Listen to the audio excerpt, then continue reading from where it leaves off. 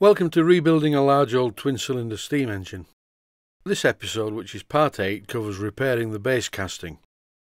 As you can see clearly here on the video, the holes in the mounting lugs are not in the right place, and to compound the problem, the mounting lugs are not in the right place either. The original base casting pattern must have gone a bit wrong. I can't do anything about that, but I can do something about the position of the holes. So I'm going to re-drill the holes, but first I need to plug up the existing holes.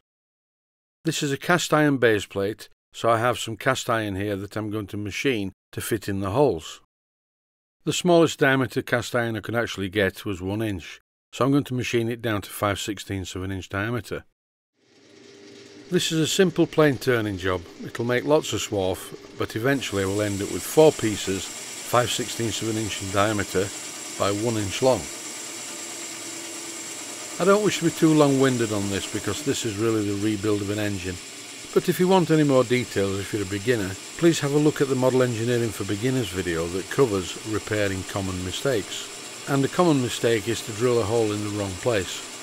Sometimes you can scrap the part and just make a new part, but I can't really scrap this base plate because there's no way I can get a replacement.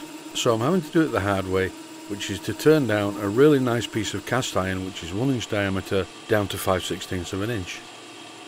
It is important to use the same material if you're plugging a hole. For instance, do not use steel in a cast iron bed plate because when you come to re-drill, the drill will wander into the softer cast iron. I need to end up with four pieces of cast iron, 1 inch long and 5 16ths of an inch in diameter. Here you see me machining off the centre because I don't want a centre hole left in the work. I just need four little barrels of cast iron to plug the holes. These are not a tight fit in the hole. I'm using Loctite 603 to hold them in position. Nor are they a rattle fit. Almost like a piston fit is what's required. And then tap the piece into place using a hammer.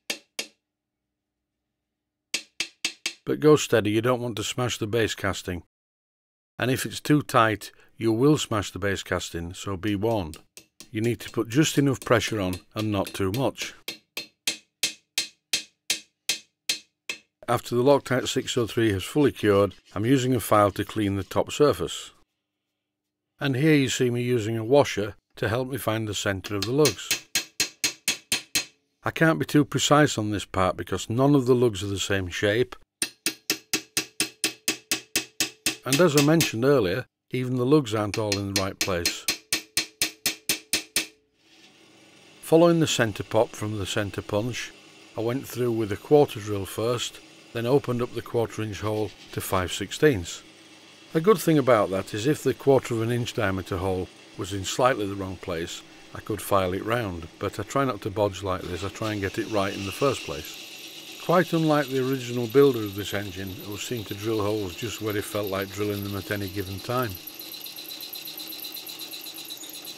It's easy to talk though, I've been doing this for quite a long time, and you develop an eye, you develop a flair for where to drill the holes, but it doesn't always work out like that.